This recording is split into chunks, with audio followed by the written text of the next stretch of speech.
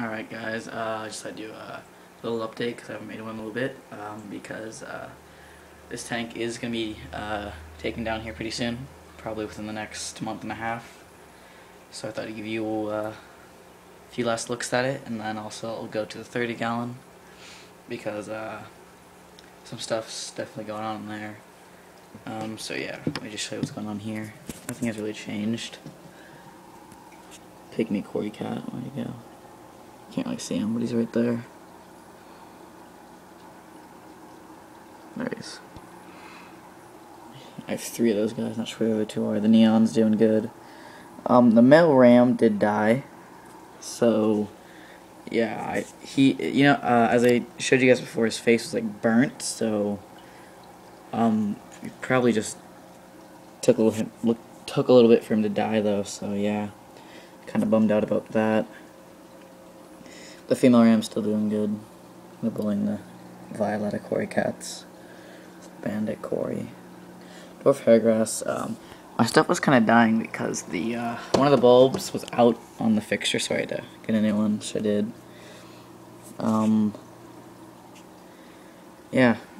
And plants doing really well. Jungle Val taking off. Duck, we have to clear some of this out. It's really, really takes over.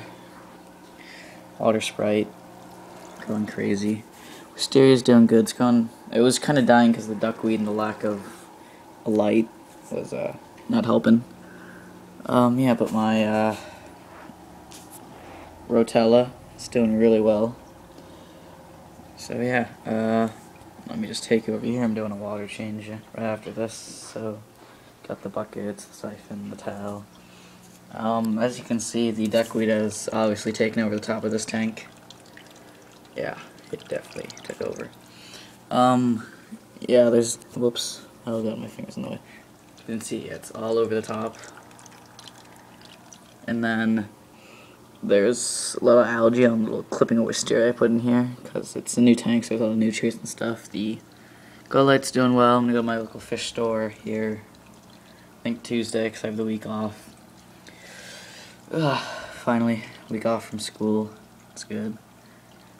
Um, yeah. And also, this is doing, eh, it's not really growing, it's not really, so it's like a medium. This, this sword's not doing so hot in here. Jungle Val's melting, but it's coming back, so, yeah. Um, my plans for this tank are just stock it with those fish and the 20. Got my homemade iPod stand. The videos are shaky. I'm just gonna put all the fish in there and to here a little bit um, and back over here.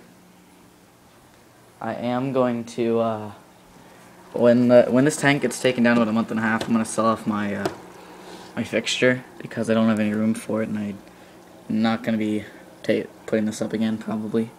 But what I will do with the money I get from the fixture and oh I'm also gonna be selling this the skimmer again for 75 it's the Hydro Slim Skim should check out the review re review of it if you haven't. Um, yeah.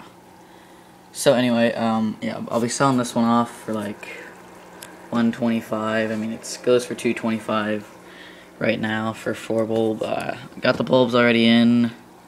LEDs still work. So yeah, you'd be getting 100 off retail so if you buy it from me, which I would recommend doing. 24 inches. I review of this up too, so you want to check that out. And if I did sell both those things, 125 for this and 75 for the skimmer, um, what I would do with it is I would set up a 7.5 rimless kind of like reef tank, a mini tank. Probably do just mostly corals, probably very light bio load. So I would do with it. So. Yeah,